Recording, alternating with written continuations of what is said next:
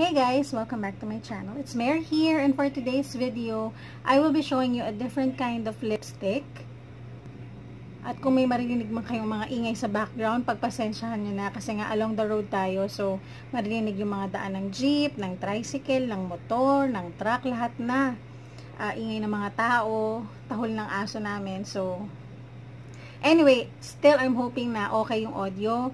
Uh, narinig nyo ako ng malinaw.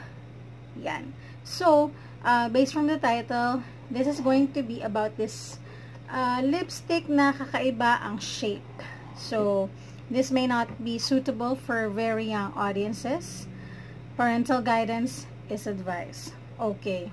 So, ito ay bigay lang sa aking mommy. So, si mommy binigay na lang sa akin kasi hindi rin niya rin uh, magagamit yung shade kasi hindi talaga siya nagsusuot ng mga ganitong shade. And I'm looking at it right now. Hindi niya masyado makikita kasi maliwanag. But it says here na Prinsesa ang kanyang uh, shade. And this one is made in Taiwan.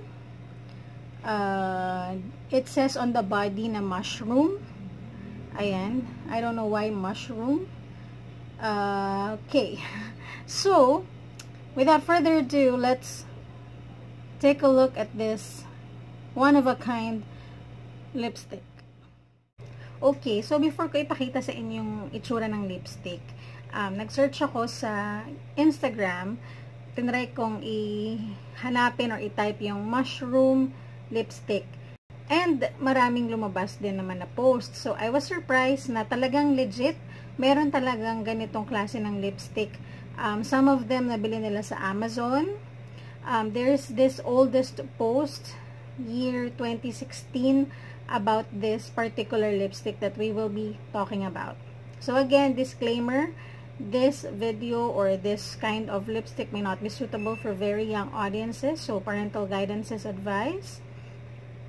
Okay, so I only have one shade and I was surprised na maraming shade ang available sa, sa lipstick na to. Um, kung gusto nyo i-search, search na lang siguro hashtag uh, mushroom lipstick. Okay. So, what I am really talking about is this one. Okay. It looks like that. The packaging looks like this. Um, I don't know kung binigay, nung binigay ito sa mami ko, merong seal or I don't know kung may plastic yung whole thing. Um, but, binigay niya na sa akin ng ganito. So, as we open it, actually medyo nag, uh, dumi na padikit na yung takip doon sa pinaka-tip ng lipstick. And this one is plastic. And again, this is made in Taiwan.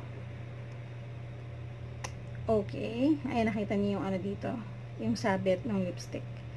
Ayan, sayang. Anyway, so, bakit ko nasabing one of a kind uh, lipstick? Kasi it looks like this.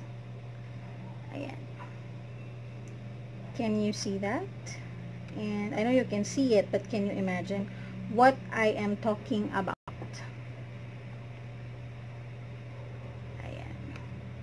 Diba? Kung sa Pilipinas, usong-uso to sa Baguio, na gawing keychain, gawing ashtray, uh, I, I don't know kung ano pa ibang gamit ng ganitong uh, shape, pero yeah. So, hindi ko nasasabihin sa inyo kung ano man to, pero I know you can imagine already what this um, lipstick looks like. I mean, kung ano siya talaga, di ba? Yung shape niya. So, in, uh, the shade that I have again is Princesa. So, I'm going to swatch it uh, dito sa back of my hand. Okay. So, I'm gonna swipe it again. Parang napaka light-handed pala. Kung isa-swatch ko siya ng 1, 2, 3, then you will get this um, pigment. Uh, when you look at the lipstick, it looks like mauve na violet ang dating. Mauve violet ang shade niya for me. And then, when I swipe it, it's kind of pink violet. Okay. At meron siyang shimmer. Okay. Wow, I was surprised um, when you look at the lipstick kasi, hindi mo agad manonotice na meron siyang shimmer. Pero when I look at the swatch, meron siya. It's kind of shining, shimmering, splendid, guys. Hmm, okay. Now, nag-lip scrub ako para wala pa yung dry patches ng aking lips. And itry na natin siya sa aking labi. Okay, I'm holding a mirror here in front of me. Okay, huwag na nating pahabain. Kasi napakita ko na naman sa inyo kung gaano siya kahaba. I don't know how much yung ganitong lipstick. Pero mukhang meron ito online. Ay, mabango. Mabango siya. Para sa akin, amoy parang rose yung scent.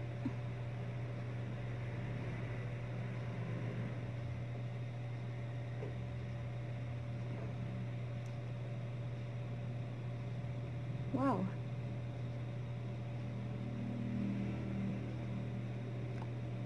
Look at that. It's nice.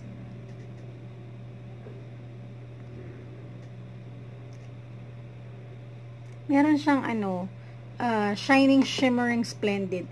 I-close up ko na lang kayo. Wait lang. Pero interesting to. I don't know what's really the idea behind this uh, lipstick shape. Bakit yun yung naisip nila. So, course, we can do research anytime. Andyan si Google or yeah, ingat na lang tayo sa pag-research kung totoo or hindi. Pero, I'm sure may lalabas about this. And it's made in Taiwan. And it, ang dami niyang shade guys. I-search nyo lang sa Google or sa Instagram na mushroom lipstick. Ang dami lalabas na shade. May mga nude, may reds, may ito yung parang pink violet. Hindi pala siya parang mauve. Iba pala. It's more on the purple shade na pink. Okay, ito siya guys. Close up. See? In fairness, sa shade niya, ang ganda. Ang daling i-glide, walang walang tagging na nangyayari nung nilagay ko sa lips ko. Nice yung color. It's um smooth sa lips. It's lightweight. Hindi mo mafe-feel na meron kang suot na lipstick I like it. I like the shade. Akala ko noong una hindi ko magugustuhan.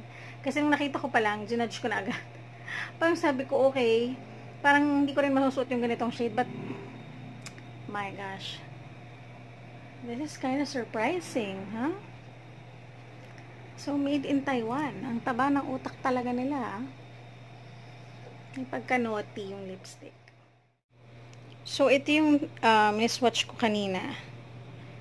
Can you see the glittery effect of the lipstick? Mm, see? Look at that. I bet maganda rin yung ibang shade nila. So, nakita niyo naman guys yung close-up nung nasa labi at nung nasa swatch. Um, Siyempre yung first impression ko, nagulat naman ako na, oh, meron palang lipstick na, na ganito yung shape um, it's kind, of course, it's kind of naughty na ang taba ng utak na nakaisip ng ganito and uh, I don't know, we'll search why or maybe there's something about them or being in Taiwan, I don't know. I'm not really quite sure, so don't quote me. But, first thing na mapapansin ko, kasi nga I don't know kung may sealed, may seal siya or naka-plastic pa siya nung binigay kay mommy, gusto ko sanang malaman yung mga ingredients niya, yung expiration date niya because what I can see here is the shade which is Princessa A105. Net weight, it's 3.8 grams. Made in Taiwan, rich on. Siguro we'll, we'll be searching for that company name, Rich on ink. Uh, and then, I don't know if this is manufactured in USA kasi nakalagay California 90023CA 90023 USA. So, yeah, may, kasi nga na, yung ibang nag-post sa Instagram ng hashtag mushroom lipstick, they find it, or they found it at Amazon. So, yeah, interesting lang. So, it's all over the world pala. And, hello, 2019 na ngayon, at yung pinaka-older post na nakita ko about this is year 2016, O, 'di ba? Okay, so for the packaging, let's start with the packaging. Sa akin, okay lang naman yung packaging niya na plastic. Yun nga lang, um, you have to be careful sa pagsasara at ng ano, kasi hindi siya yung lipstick na uh, when you close it or when you twist it, um, talagang lubog dun sa pinaka-packaging or body nung um, uh, container yung mismong product. Ito kasi, yung tip labas pa. So, maybe that's the idea of having this shape uh, para mas ano, I don't know kung mas entertaining para sa kanila. So mapapabili ka and then um, yeah, be careful lang dun when you close it like that. And so far yung pinaka um, sara niya yung pang sara niya dito sa end okay naman kasi when you push it like that lock naman. So hindi siya maluwag. Um, hindi maluwag yung packaging so hindi ka mag-worry na kapag nilagay mo siya sa bag lang as is uh, mag-open and then masisira si lipstick. But of course, um, you have to take good care of it pa rin kasi pag pinush, pull mo, whatever, syempre may tendency na lumuwag. Ayan na, sumasabit na siya. Okay. So, yun. And then, um, very naughty and very artistic, very creative yung nakaisip nito sa kanila. Um, why the, why the shape is like that. And, I'm interested to try other shades from them. I don't know, siguro meron na to sa Shopee, Lazada. Check natin kung meron. Or kung meron man sa inyo nakatry na ng lipstick from Mushroom or whatever the brand is, please comment down below. Um, I'm pretty sure din naman na hindi siya transfer proof.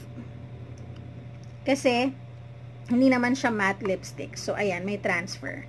And, yeah, ito lang yung ma-share kong shade kasi ito lang talaga yung nabigay kay mommy and I was just so surprised na may ganito pala talagang lipstick um, all over the world na kasi yeah, they're from US uh, yung mga nag-swatch, yung mga nag-try ang daming shades guys and for the scent naman I also, I'm also surprised na amoy rose hindi siya yung rose na amoy na ang sakit sa ilong na parang amoy patay. Yung minsan may ganun na amoy masyado ng strong yung pagka-scent niya, yung, yung pagka-rose na parang bothering na.